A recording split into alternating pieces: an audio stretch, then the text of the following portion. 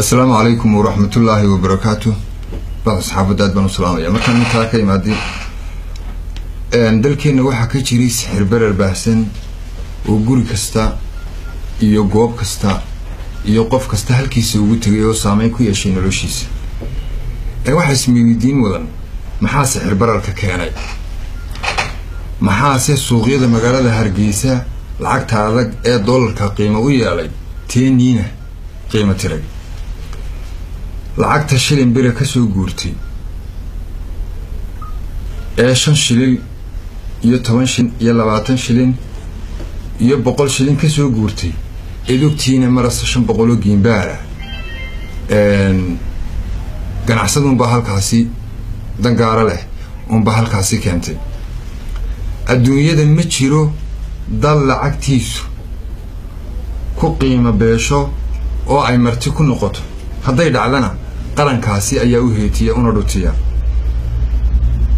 Sideeda bannaana siyaabo kala duwan ayaa lacagta doolarka ee adag dalkeenna ku soo geli jirtay. Waxay ku soo geli jirtay dhoofkii xoolaha iyo lacagta dibadda laga soo diray xawaaladda.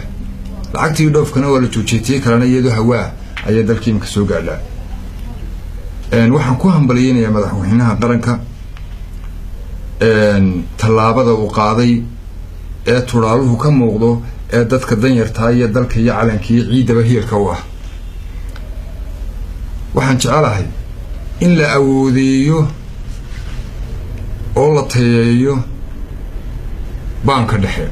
Dad ganacsatay inay sarifka lacagaha jaraan waxay keentaa in nin waliba siduu doonayo u maamulo. Waynu ognahay maanta sarifku intuu marayo shalay xilligana intuu taagnaa lix kun iyo shan boqol buu iminka maraya taasi waxay ku tusaysaa in dad ganacsatiya ay lacagta sarifka gacanta ku hayeen.